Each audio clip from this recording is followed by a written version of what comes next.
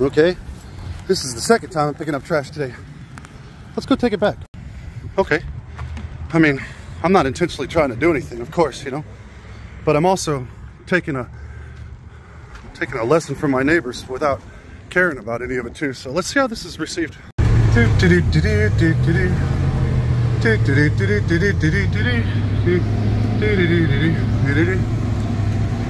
Okay, hey guys, I got you something.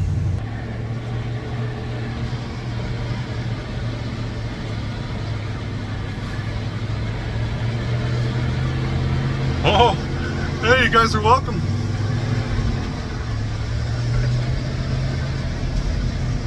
Helping you out here. All right, I think I pretty much got that taken care of. You're welcome, guys. Did you a sub? You don't have to go searching for your trash anymore. I got you right here. You're welcome. Thanks, guys.